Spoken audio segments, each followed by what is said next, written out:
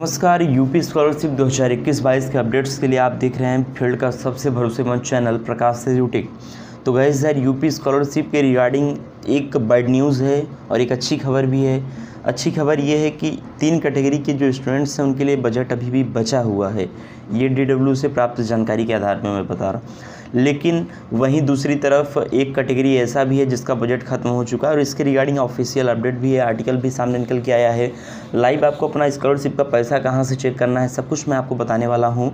तो वीडियो में अंत तक बनी रहिएगा, वीडियो स्टार्ट करने से पहले आप सभी से एक छोटी सी रिक्वेस्ट है।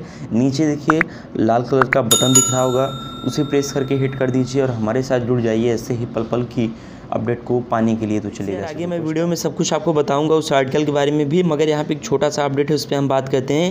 इस संबंध में अवगत कराना है कि निदेशक अल्पसंख्यक कल्याण कार्यालय की तरफ़ से दिनांक तीन दिनांक यहाँ पे देखिए चार चार दो हज़ार बाईस के द्वारा एनआईसी पोर्टल पर आवेदक पत्रों की स्टेटस कारण सहित अपडेट करने का अनुरोध किया गया यानी कि चार अप्रैल को कुछ लोगों का स्टेटस अपडेट हुआ। तो ऐसे में आप लोग जाके अपना स्टेटस चेकआउट कर सकते हो, यही बात मैं आपसे कहना चाहता हूँ, बस। चलिए, अब यहाँ से देखेंगे आज के ही न्यूज़पेपर में आप लोग देख सकते हो लाइव की लखनऊ सिटी से पाँच अप्रैल 2022 की डेट में एक न्यूज़ आर्टिकल जो है वो प्रकाशित किया गया है। तीन दशमलव एक नौ लाख सामान्य विद्यार्थियों को नहीं हो सकी शुल्क भरपाई। तो एक बड़ी अपडेट है जनरल कैटेगरी के छात्रों के लिए। हालाँकि वीडियो सभी को देखना एंड तक। आगे मैं बातें बताने वाला हूँ, बजट के रिगार्डिंग भी। तो देखिए प्रदेश में सामान्य वर्ग के तीन दशमलव एक नौ यानी कि थ्री पॉइंट टू लैक्स जो पात्र विद्यार्थी हैं इस बार वो छात्रवृत्ति न उनको मिल सकी ना ही शुल्क भरपाई तो यहाँ पे आप देख सकते हैं कि वित्त वर्ष के अंतिम दिन पुनर्वियोग के अनुमति मिली इसके कारण भुगतान प्रक्रिया पूरी नहीं हो सकी। नतीजन अब विद्यार्थियों को भुगतान नहीं हो पाएगा।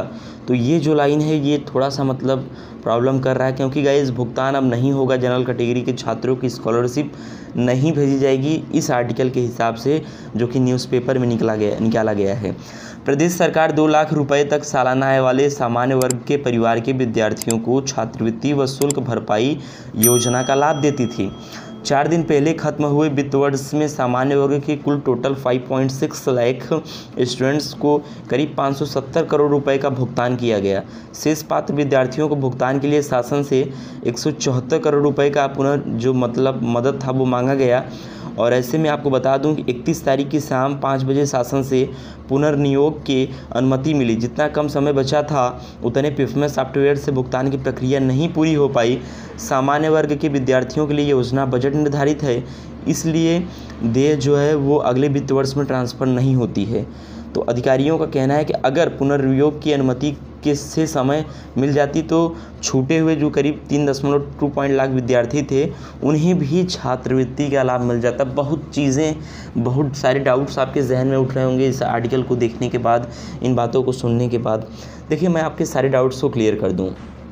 यहाँ पे बताया जा रहा है कि इकतीस तारीख की शाम को एक सौ चौहत्तर करोड़ रुपए का जो बजट मांगा गया था डीडब्ल्यू से जनरल कैटेगरी के छात्रों के लिए, वो शाम को पारित हुआ, यानी कि जारी हुआ। और ऐसे में वो अगले चार से पाँच घंटे में ट्रांसफ़र कर पाना पॉसिबल नहीं था, इसलिए उन्होंने ट्रांसफ़र नहीं किया। तो भाई, अगर आपके पास सिस्टम नहीं है तो आप एक अप्रैल को भी तो कर सकते थे।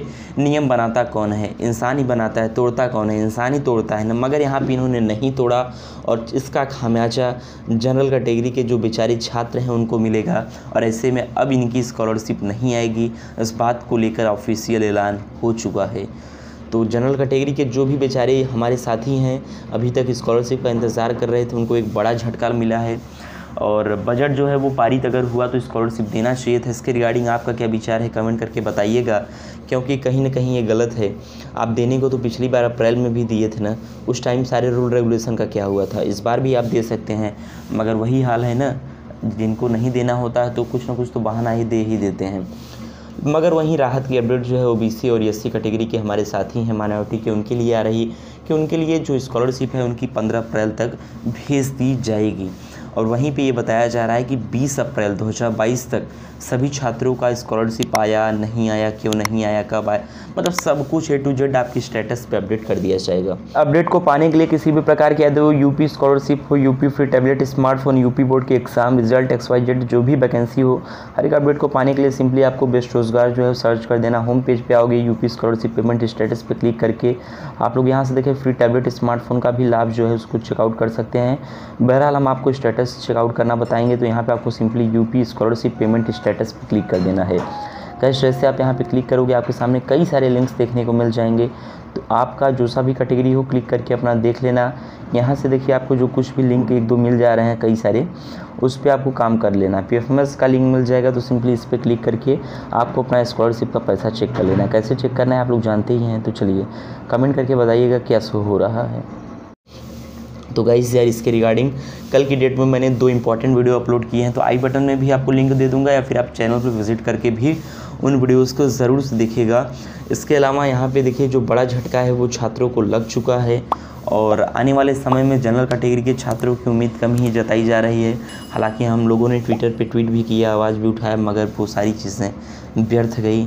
बेहरों के सामने चिल्लाने से क्या फ़ायदा? एक शायरी है ना कि ये बहरों का नगर है साहब। ज़रा ज़ोर से चिल्लाइए। तो जो भी हो, अब, कमेंट करके बताइएगा कि सही हुआ कि गलत हुआ। बजट होते हुए भी छात्रवृत्ति नहीं मिल पा रहा है। मैं आपसे कह रहा था ना कि भाई बजट है, मगर आप लोग यकीन नहीं कर रहे थे। तो बजट है, मगर छात्रवृत्ति नहीं देंगे। ये अपडेट है। वीडियो अच्छी लगी हो लाइक करना, दोस्तों में शेयर करना, और बाकी का और भी जो भी इन्फॉर्मेशन होगी, उसकी ऑथेंटिक अपडेट पाने के लिए चैनल को सब्सक्राइब करके बेल आइकन को ज़रूर प्रेस करना। O B C S C S T थोड़ा सा टेंशन फ्री रहें, इनको मिलेगी। जनरल कैटेगरी के छात्रों को अब छात्रवृत्ति नहीं मिलेगी। इस आर्टिकल के हिसाब से मैं फिर कह रहा हूँ। थैंक्स फॉर वॉचिंग जय हिंद, वंदे मातरम।